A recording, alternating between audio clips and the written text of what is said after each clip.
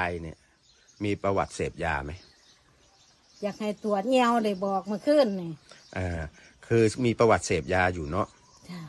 อืม เคยโดนจับไหมบ่บ่ได้โดนจับดอกเสพมานานอย่างคุณยายบ่จักมันไปทำงานอยู่ปุ่นอืมอืมอยู่อันอยู่ใจไปเฮ็ดขับรถเข็นตะซอยอยู่ปุ่น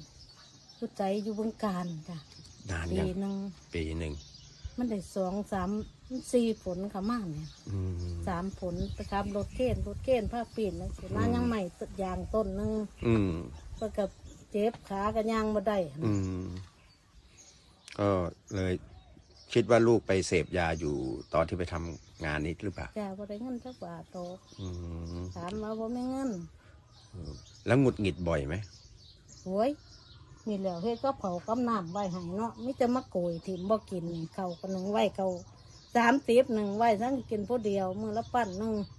นี่ละติบเผาติบบุญใจหมุนแล้วเอเป็นอว่าน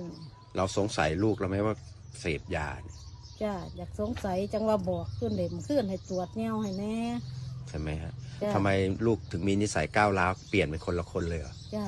แต่ก็อยู่ผู้เดียวพ่อก็บ่มีเนาะก็เอาพ่อใหญ่ไม่โอ้ มันมาขออยู่น้ำพ่อใหญ่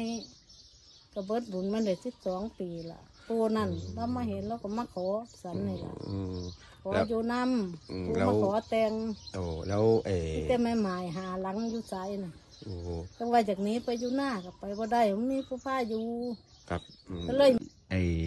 ลูกเราเนี่ยหลังจากที่ไปยุ่งเกี่ยวกับยาเสพติดเนี่ยเปลี่ยนเป็นคนละคนเลย เปลี่ยนเมื่อก่อนนี้เป็นคนนิสัยยังไงก่อนที่จะเสพบ่ได้เป็นหยังอืมดีอยู่โอ้ แล้วเดี๋ยวนี้เปลี่ยนเลย เปลี่ยนเปมาลี่ยนนานเลไหมยแล้วมาเฮือนนี่เฮ็ดกับเขาวกับน้ำใบมันก็หอถิ่มซิบเขาเราเริ่มสงสัยแล้วใช่ไหมเว้ย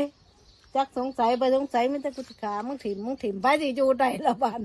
แล้วถ้าป่วยฮะก็ป่วย นานแล้วอย่างที่ลูกแสดงพฤติกรรมแบบนี้ จ้ากี่เดือนกี่ปี ปีนึงนี่ล่ะปีหนึ่งเลยใช่ไหมจ้ามันมาเฮือนเพิ่นสิผุดหวยซ้ำมีหยัง ไปเดินเบิดโอ้เพิ่นเก็บออกมาให้เลยผุดผุดเบิดอืมนี่แต่สิขาแม่อยังเดียวสังกับตายก็หักกับพื้นยังว่าสังกับเมื่อยมันเจ็บหัวใจขึ้นเลยก็ไม่เดืองหยังครับ